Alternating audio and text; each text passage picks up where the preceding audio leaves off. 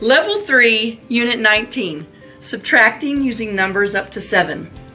19.1, subtract 1 to 5 from numbers up to 17. Example A, 14 minus 1. Let's first take the ones position and subtract those two numbers. 4 minus 1 is 3. We have nothing to subtract from the 1, so the 1 carries over for an answer of 13. Example B, 15 minus what number equals 12? Let's count backwards from 15. 15 to 14 to 13 to 12. How many times did we move? Three times, so we're subtracting 3.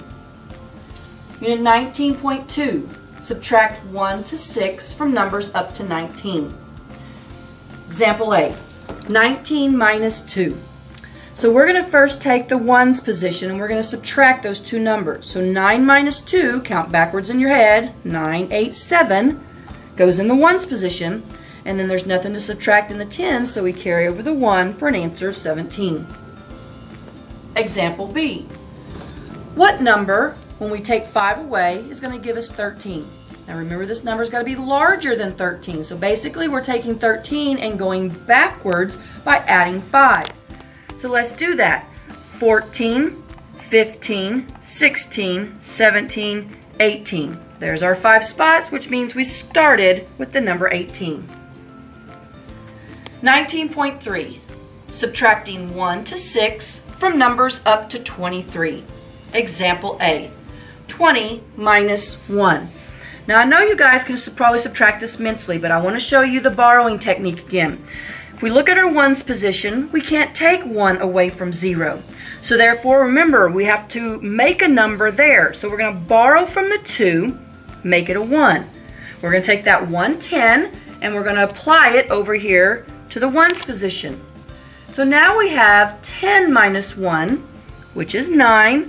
And what do we have left in the tens column? But a 1 for an answer of 19. Example B. 20 minus what number equals 18? Let's count backwards. We go from 20 to 19, that's 1. 19 to 18 means we are subtracting 2. 19.4, subtracting 1 to 7 from numbers up to 25. Example A, 24 minus 2. We're going to subtract the ones position first. 4 minus 2 is 2. Then in the tens position, there's nothing to subtract, so the 2 carries over for an answer of 22. Example B. What number minus 7 equals 14? We're going to take this 14 and we're going to work backwards until we have 7 positions higher. So that's going to be 15, 16, 17, 18, 19, 20, 21. Now double check. 1, 2, 3, 4, 5, 6, 7 means that we had to start with the 21 in order to subtract 7 to give us an answer of 14. 19.5. Subtract using numbers 1 to 7 randomly. Example A. 21 minus 7. If we look at the ones positions and we try to subtract, you can't take 7 away from 1. You have to have more than 7 to subtract, or at least 7. So we're going to borrow from the 2, make it a 1.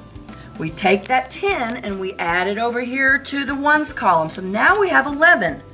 11 minus 7. Okay, count backwards. 11, 10, 9, 8, 7 means we have 4.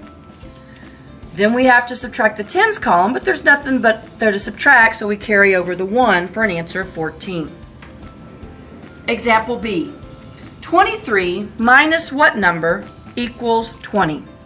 Let's look specifically at the ones position. 3 minus what number would give us a 0? How many would we have to take away from 3 to equal 0? 3.